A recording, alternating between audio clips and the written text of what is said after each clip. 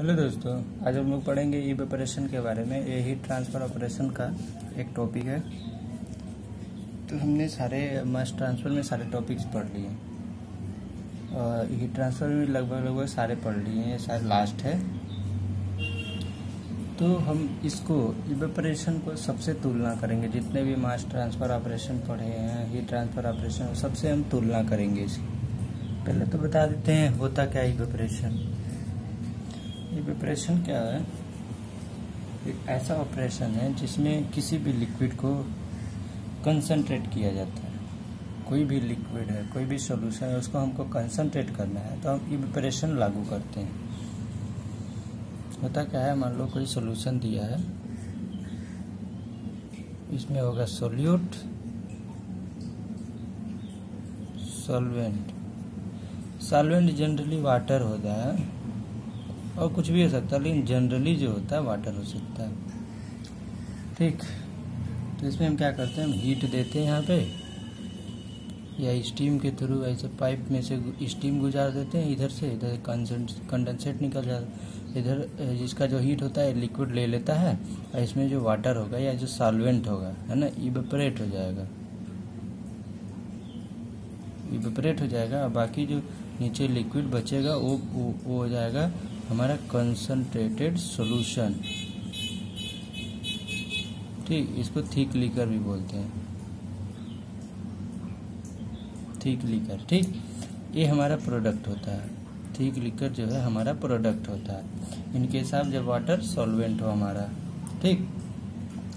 एक बात और, अब देखो, यही हमारा एक जगह है, हमारा ये इवेपरेटेड प्रोडक्ट जो इवेपरेटेड इवेपरेटेड जो वेपर होता है, वो हमारा प्रोडक्ट होता है। ये वहाँ पे होता है जब वो होता है ना समुद्री वाटर को जब हम शुद्ध करते हैं तो हम वहाँ पे जब इवेपरेशन करते हैं, ये मान लो सी वाटर है, हम यहाँ से इसको हीट दिए स्टीम के थ्रू इसका वाटर इसमें जो है इवेपरेट हुआ। इवेपोरेट हुआ, ठीक। और यहाँ पे क्या बचेगा, इसका जो इम्प्योरिटी है, जो सॉल्ट वगैरह है, वो बचेगा, है ना? तो ये हमारा तो यूज़ होता नहीं है। यूज़ कौन होगा? जो प्योर वाटर होगा ये पीने के लिए हम यूज़ करते हैं। तो यहाँ पे इवेपरेट इवेपरेटेड जो वेपर होता है वो हमारा प्रोडक्ट होता है। लेकिन आ, सभी केसेस और सभी केसेस में यही हमारा प्रोडक्ट होता है। ये कुछ इवेपरेशन का था। इसमें देखो इसमें भी जैसे हमने बताया था ड्राइंग में हीट और मास ट्रांसफ़र दोनों एक साथ होते हैं सेम इसमें भी होते हैं। हीट का ट्रांसफ़र इस स्टीम से यानी गैस फ़ेज़ से और लिक्विड फ़ेज़ में होता है। ठीक ना? हीट का ट्रांसफ़र और इस लिक्विड फ़ेज़ में मास ट्रांसफ़र होता है। इस फ़ेज़ यहाँ से। यहाँ से इस लिक्विड से, इस लिक्विड में जो मलिकुल रहेंगे, वो इसका स्टीम का हीट अपने अंदर लेंगे और इसी हीट के थ्रू ये इवेपरेट हो जाएँगे। मतलब लिक्विड से वेपर में मास का ट्रांसफ़र होगा और स्टीम से, यानी गैस से लिक्विड में हीट का ट्रांसफ़र होगा। यानी सिमल्टेसली दोनों प्रोसीजर एक ही साथ होते हैं, दोनों ऑपरेशन एक ही साथ होते हैं। और इसमें एक चीज़ और, जो वीक लिकर होता है, जो सोल्यूशन होता है जिसको कंसनट्रेट करना है है ना?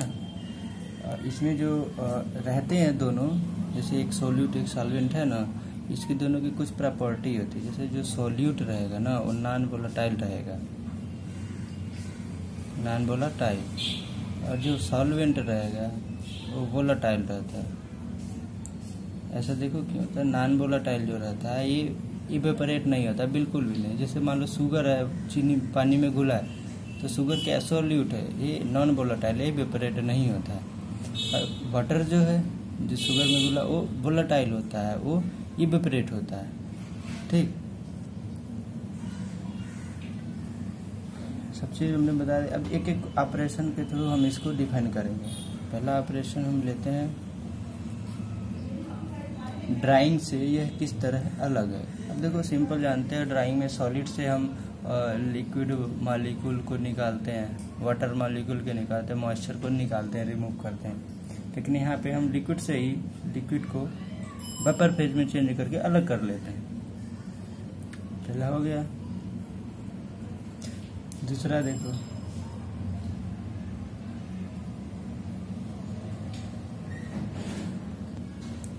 अच्छा डिस्टिलेशन में और इसमें एक चीज़ अंतर होता है, जैसे इवेपरेशन में क्या होता है, जो वेपर फ़ेज़ होता है वेपर फ़ेज़ इसमें केवल एक कंपोनेंट होता है only one component present in vapour phase जबकि डिस्टिलेशन में दो फ़ेज़ होते हैं टू फेजेस या सॉरी जो वेपर फ़ेज़ होता है डिस्टिलेशन में जो वेपर फ़ेज़ होता है उसमें दो कंपोनेंट होते हैं। Two component consist in the phase of distillation process distillation operation sorry distillation operation में दो कंपोनेंट होते हैं वेपर के। तीसरा क्रिस्टलाइजेशन में क्या होता है? देखो, इसमें कंसनट्रेट करते हैं सॉल्यूशन को ना। लेकिन क्रिस्टलाइजेशन में हम क्या करते हैं? सोल्यूट को क्रिस्टल फॉर्म में कन्वर्ट करके हम प्राप्त करते हैं। क्रिस्टल को बढ़ावा देते हैं वहाँ पे। ठीक है तो ये क्या है सब में डिफरेंस था। आज देखो एक चीज़ और बताते हैं। यहाँ पे जो हीटिंग मीडियम ले रहे हैं, हमने स्टीम बताया ना जनरली जो लिया जाता है लो प्रेशर स्टीम का यहाँ पे यूज़ किया जाता है। इसमें जो डालते हैं हम, इसमें लो प्रेशर स्टीम डालते हैं। लो प्रेशर स्टीम डालते हैं। ठीक। और इनके आप कहीं कहीं और कोई कंडीशन होता है, जिसमें सोलर एनर्जी या कहीं fuel, electricity, hot gas, flue gas जो होती है, हॉट आयल, ये सब डाल देते हैं। ठीक ना? और ये दो, ठीक है, ये हो गया। इसके बाद एक चीज़ और आता है, ये दो प्रोसेस से मिलकर बना होता है। पहला और दूसरा। पहले प्रोसेस में क्या होता है, जो लिक्विड होता है, पहले ऐसे मान लो है। पहले ये जो लिक्विड होता है, इस लो प्रेशर स्टीम से हीट लेता है। अपने आप को सेंसिबल हीट तक गर्म करता है। बॉइलिंग पॉइंट तक ले जाता है, ठीक है सेंसिबल हीट ग्रहण करके अपने बॉइलिंग पॉइंट तक पहुँचता है। जैसे वाटर है तो 100 डिग्री सेंटीग्रेड तक पहुंचेगा। और दूसरा होता है, अब दोबारा ये हीट लेगा तो ये इवेपरेशन में खर्च करेगा। ये हीट क्या होती है? M C P delta T से निकालते हैं। इवेपरेशन के लिए एम लिमडा निकालते हैं। लिमडा होता है लेटेंट हीट ऑफ़ वेपराइजेशन ठीक। ये है। अब हम देखेंगे बॉइलिंग पॉइंट के बारे में थोड़ा सा। क्योंकि आगे जब हम कुछ प्रॉपर्टीज़ पढ़ेंगे तो उसमें बॉइलिंग पॉइंट का यूज़ ज़्यादा है।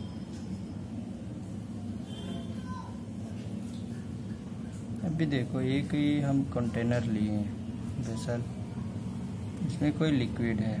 ऐसा मान लो तुम दूध को या पानी को बॉयल करते दूध को मान लो गर्म करते हो तुम। हीट दे के नीचे से बर्नर से हम हीट करते हैं इसको, दूध को। क्या होता है, कुछ समय बाद ये बॉयल होने लगता है। ठीक बॉयल होने लगा मान लो। अब क्या करो, तुम ऊपर से इसमें शुगर डाल दो, मीठा करने के लिए। शुगर डाल दो। शुगर डालने से क्या होता है? ये बॉयल होना बंद हो जाता है। ऐसे प्रयोग करके देखना। कुछ लोग दूध उबाले होंगे तो उनको पता होगा, ये बंद हो जाता है। इसका मतलब है कि जितना ज़्यादा इम्प्योर होगा, कोई भी लिक्विड जितना ज़्यादा इम्प्योर होगा, अगर वाटर ही है, अगर 100 डिग्री सेंटीग्रेड पे बॉयल हो रहा है, अगर उस पर कुछ कॉन्टेमिनेशन होंगे, कुछ इम्प्योरिटी होगी, कुछ अलग कंपोनेंट इसमें डाल दिए जाएँगे तो इसका बॉइलिंग पॉइंट बढ़ जाता है।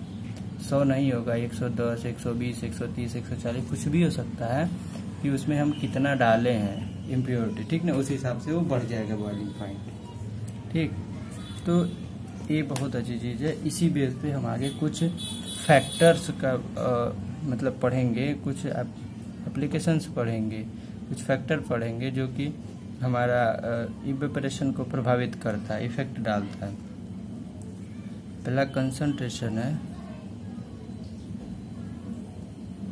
अच्छा कंसंट्रेशन क्या होता है? पर यूनिट वॉल्यूम में आ, कितने मोल्स हैं कितना किलोग्राम है ये सब होता है कंसंट्रेशन है कितने पार्टिकल मान लो ये है दस पार्टिकल हैं एक लीटर में। तो number of particle divided by litre ठीक ये हो जाएगा। कंसंट्रेशन नहीं होता मोल पर लीटर तो कितने मोल्स हैं? पर यूनिट वॉल्यूम में। मोल ही जानो कि मान लो दस मोल है तो दस दस हो जाएगा उसका। कंसंट्रेशन तो कंसंट्रेशन बढ़ने का मतलब है ना, मान लो ऐसे है। इतना है। कंसंट्रेशन क्या होगा इसका? कुछ मान लो एक्स है। हम क्या किए? इतना है। वॉल्यूम इसका सेम रखें। मालिक्यूल्स इसमें बढ़ा दिए। मालिक्यूल्स बढ़ने के बाद क्या हो जाएगा ये? मालिक्यूल्स बढ़ गया। तो जो ये इसका कंसंट्रेशन होगा बढ़ जाएगा। मान लो एक्स से ज़्यादा हो जाएगा एक्स प्लस बढ़ जाएगा इससे। टू एक्स हो जाएगा three X four X one point five X कुछ भी हो सकता है है ना? जितना ज़्यादा बढ़ाएँगे, अगर दुगना बढ़ा दिए तो टू एक्स हो जाएगा। उतना ही वॉल्यूम अब हम क्या करें? उतना ही वॉल्यूम में और ज़्यादा मतलब हम डाल दें इसमें कॉन्टेमिनेशन या मोलिक्यूल्स बढ़ा दें नंबर ऑफ़ मॉलिक्यूल मान लो इसका तीन गुना कर दिए तो तीन एक्स हो जाएगा इसका कंसंट्रेशन ठीक ना? इसका मतलब जितने ज़्यादा मॉलिक्यूल रहेंगे, कम जगह में उतनी ज़्यादा उसकी कंसंट्रेशन होगा। अब हमने बताया था कि यहाँ पे जैसे जैसे जितना वो रहेंगे, जितना ज़्यादा कंटेमिनेशन रहेंगे, उतना ज़्यादा उसका बॉइलिंग पॉइंट बढ़ जाएगा, उसके प्योर कंपोनेंट से। तो यही देखना है कंसंट्रेशन जब हम किसी सोल्यूशन का बढ़ाते हैं, मान लो इस सोल्यूशन को हमको इवेपरेट करना है, ये जो दिया है, इसको इवेपरेट करना है तो इवेपरेट अगर हाई कंसंट्रेशन है हाई कंसंट्रेशन है तो उसकी विस्कोसिटी और डेंसिटी हाई होगी, ठीक ना? तो उसको बॉयल करने के लिए हमको ज़्यादा एनर्जी देनी पड़ेगी, है ना?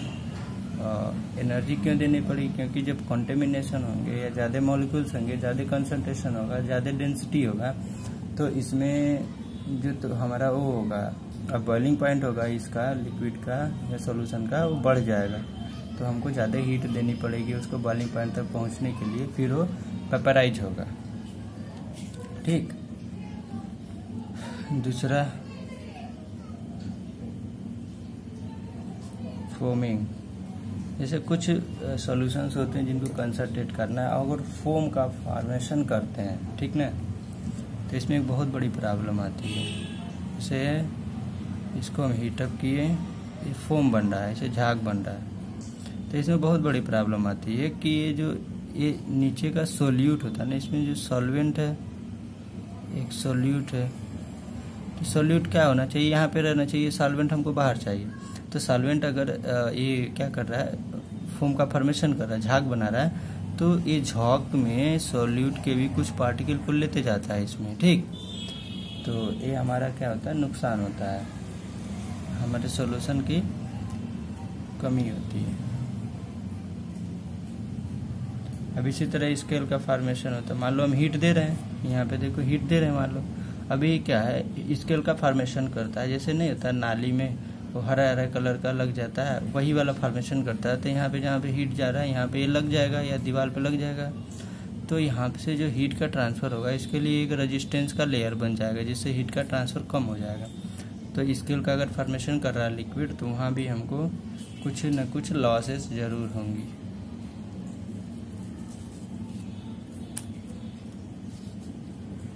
ठीक। जो एक चीज़ और नहीं होना चाहिए, जैसे ये है ना, जो सोल्यूशन होना चाहिए, वो टेम्परेचर सेंसिटिव नहीं होना चाहिए। जैसे फार्मास्यूटिकल होते हैं जूस होता है, उनको कंसनट्रेट करना है तो वहाँ पे हमारा जो मटेरियल होना चाहिए हीट सेंसिटिव नहीं होना चाहिए। हीट सेंसिटिव होगा तो उससे क्या फ़र्क पड़ेगा? जो मटेरियल है, उसको हाई टेम्परेचर पर अगर कंसनट्रेट करते हैं तो टूट जाता है है ना? अपना जो फ़िज़िकल से फ़िज़िकल प्रॉपर्टी होती है खो देता है। क्रोजिवनेस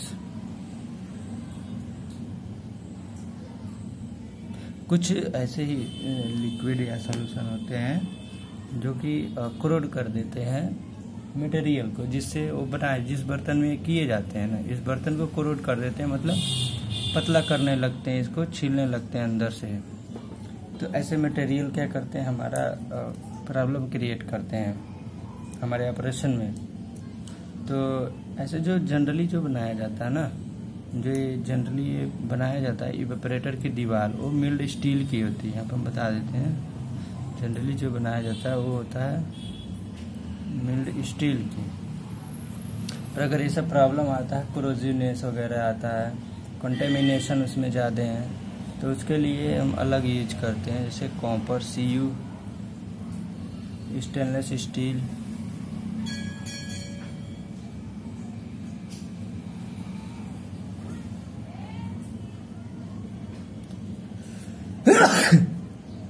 इसमें निकिल भी यूज़ कर सकते हैं, ठीक? ऐसे मिल्ड स्टील जनरली यूज़ ही करते हैं, अगर ऐसा प्रॉब्लम आ जाए कोरोजिनेस हीट सेंसिटिविटी, या हीट सेंसिटिविटी नहीं कोरोजिनेस या टॉक्सिसिटी आ जा रहा है, स्पेसिफिक हीट फ्रीजिंग वगैरह अगर अधिक है तो वहाँ पे हम क्या करते हैं? स्टेनलेस स्टील, निकिल या कॉपर का यूज़ कर लेते हैं। अब देखो, कुछ एग्ज़ाम्पल हैं।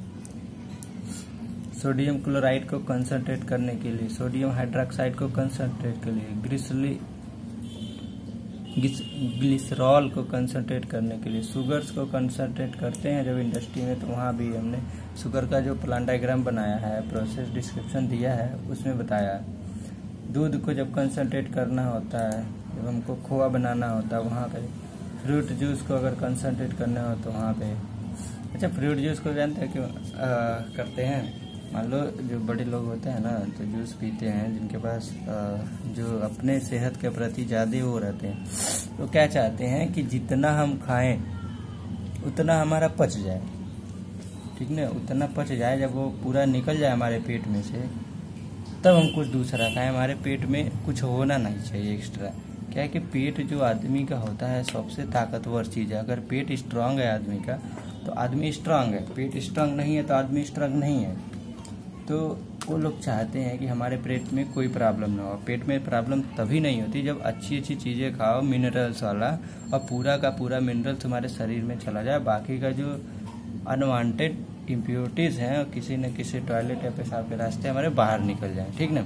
अब यही चीज़ें जब नहीं पचती हैं मतलब जहाँ पे जाती हैं पेट में, पचने लगती हैं, अब नहीं पच पाती हैं तो वहाँ पे क्या होती है, वो सड़ने लगती हैं धीरे धीरे जो पेट को कमज़ोर बनाती हैं, है ना? फ्रूट जूस को इसीलिए कंसनट्रेट करते हैं कि उसका जो वाटर हो एक्स्ट्रा वो निकल जाए बाकी जो मिनरल्स वाला चीज़ है, वो हमको केवल मिले, ठीक?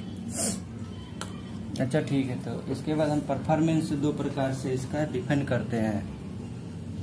जो ये इवेपरेटर है, बनाते हैं हम, उसका परफॉर्मेंस को दो प्रकार से डिफाइन करते हैं। परफॉर्मेंस पहला होता है।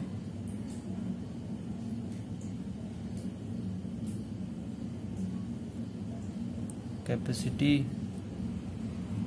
दूसरा होगा इकोनॉमी। कैपेसिटी को जानते हैं। अब देखो, हमको क्या करना है? इवेपरेट करना है वाटर सॉल्यूशन में जो सॉल्वेंट होगा, हमको उसको इवेपरेट करना है। और हमको प्राप्त क्या करना है? कंसनट्रेटेड सॉल्यूशन कैपेसिटी अगर हमको किसी भी इवेपरेटर का निकालना है तो हम कहते हैं, एक घंटे में पर आवर एक घंटे में कितना किलोग्राम ऑफ़ वाटर वेपराइज हुआ है? है ना? मान लो एक घंटे में एक किलो वाटर वेपराइज हो गया, दो किलो हुआ, आधा किलो हुआ, उस हिसाब से कितना ही वेपराइज होगा जितना ज़्यादा एक घंटे में जितना ज़्यादा, पर पर आवर में जितना ज़्यादा किलोग्राम ऑफ़ वाटर वेपराइज होगा, जितना ज़्यादा वेपर बनेगा, उतना ही उस इवेपरेटर की कैपेसिटी ज़्यादा होगी। अच्छा ये सब पता करने के लिए जैसे हम हीट देते हैं तो किस प्रकार से हम निकालते हैं कि कितना हीट हमको देना पड़ा इवेपरेट करने के लिए? तो होता है क्यू बराबर U A delta T U होता है ओवरऑल हीट ट्रांसफ़र कोफिशिएंट ये होता है कॉन्टेक्ट ऑफ़ एरिया जहाँ पे हीट ट्रांसफ़र डेल्टा टी होता है टेम्परेचर डिफरेंस किसके किसके बीच टेम्परेचर डिफरेंस होता है? स्टीम जो हम लगाते हैं स्टीम बता दें एक बार। यहाँ पे जब इसको हीट करेंगे तो क्या करेंगे? यहाँ पे स्टीम इसमें डालेंगे लो प्रेशर स्टीम या हाई प्रेशर जो भी डालना अप्लीकेशन के हिसाब से वो इधर से आएगा हीट को इसमें, इसको देगा और अपने यहाँ कंडेंसेट होकर निकल जाएगा वाटर के रूप में। तो स्टीम का saturation temperature. Saturation temperature of steam minus boiling point of solution होता T two minus T one या डेल्टा टी इसको बोलते हैं। ठीक, यहाँ पे लिखे हैं। सेचुरेशन टेम्परेचर होता है। स्टीम का हम सेचुरेशन टेम्परेचर रहते हैं। किस टेम्परेचर पे? हम उसको डाले हैं। है ना? होल टेम्परेचर कितना है? बॉइलिंग पॉइंट ऑफ़ सोल्यूशन होता है हमको पता ही है कितना होता है। अगर वाटर है। हंड्रेड है। जो भी वाटर जो भी लिक्विड लिए हैं, उसका कितना होता है तो हमको पता ही होता है। अच्छा एक बार और हम इस पर बताते हैं, सबसे ज़्यादा इम्पोर्टेंट इस टॉपिक का सबसे ज़्यादा इम्पोर्टेंट भाग। जिसे मान लो हम फ़ीड कर रहे हैं, जो हमारा ये, जिसको हमको ये कंसनट्रेट करना है, वो पहला तीन कंडीशन में हो सकता है। पहला कंडीशन क्या हो सकता है कि ये इसको हम बॉइलिंग पॉइंट से अधिक टेम्परेचर पे डालें।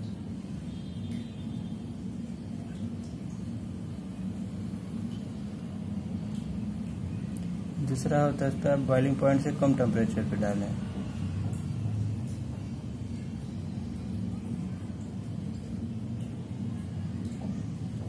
तीसरा हो सकता है बॉइलिंग पॉइंट पर डालें। इसका मतलब समझ में आ रहा है, मान लो वाटर को कंसंट्रेट करना है वाटर को तो वाटर का क्या होता है boiling point hundred degree centigrade होता है। तो पहला वाला कहने का मतलब अधिक टेम्परेचर पे डालें तो हम 110 टेम्परेचर 120 130 कितना पे डाल दें, ठीक? दूसरा, कम टेम्परेचर पे 90 पे डालें 80 पे डालें 70 पे डालें 75 पे डालें, कुछ भी पे डालें, ठीक? तीसरा बॉइलिंग पॉइंट पर डालें, यानी 100 डिग्री सेंटीग्रेड पर करके उसको हम फ़ीड में यहाँ पे यहाँ पे रखें, ठीक? इस कंडीशन में क्या होता है? अगर बॉइलिंग पॉइंट हम बॉइलिंग पॉइंट पर हम डालते हैं सॉल्वेंट को सॉरी सोल्यूशन को तो क्या होता है? जो हम ये हीट देते हैं ना अलग से बॉइलिंग पॉइंट तक पहले भी हीट है, पहले ही हीट हो चुका है तो उसको हीट करने की ज़रूरत नहीं पड़ती। जितना भी हीट इसका निकलता है स्टीम का, वो ये वाटर ले लेता है और वाटर इवेपरेट हो जाता है। कोई भी हीट का लॉस नहीं होता है। तो इस कंडीशन में जो हीट रेट होता है ना क्यू वो प्रोपोर्शनल होता है।